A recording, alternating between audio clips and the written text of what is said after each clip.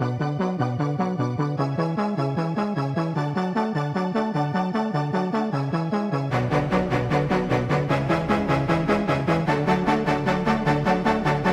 I might be too strung out on compliments, overdosed on confidence. Started not to give a f and stop fearing the consequence. Drinking every night because we drink to my accomplishments. Faded way too long, I'm floating in and out of consciousness, and they saying I'm back. I'd agree with that. I just take my time with all this. I still believe in that. I had someone tell me I fell off, ooh, I needed that. And they wanna see me pick back up, well, where'd I leave it at? I know I exaggerated things, now I got it like that. Tuck my napkin in my shirt cause I'm just mobbing like that. You know good and well that you don't want a problem like that. You gon' make someone around me catch a body like that. Hey everybody, my name is Dashon Flyboy Johnson. I'm here with JRay Films to uh, give you a little sneak peek of my camp and uh, to you know invite everybody to my upcoming fight February 24th at the Doubletree Hotel in Ontario. Know, I appreciate all my supporters and everybody coming out and show me some support. I got a big fight. It'll be against Aaron Martinez. Should be a good fight.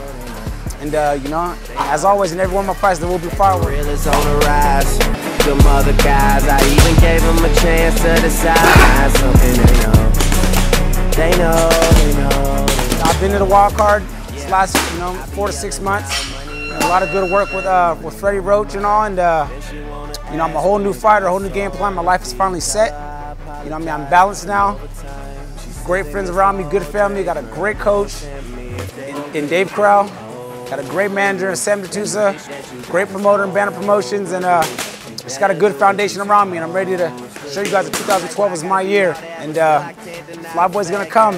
You guys will see. Please come check me out. You can get tickets at 714-935-0900. Come check me out, everybody. Again, Dashon Flyboy Johnson, coming after you. I guess it really is just me, myself, and all my millions. You know that they ain't even got it like that. You gon' hype me up and make me catch a body like that. Cause I live for this, it isn't just a hobby like that. When they get my then play it, I ain't even gotta say it. They know, they know,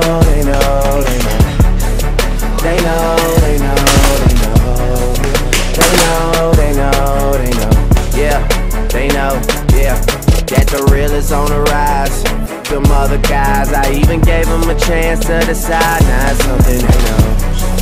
They know, they know, they know.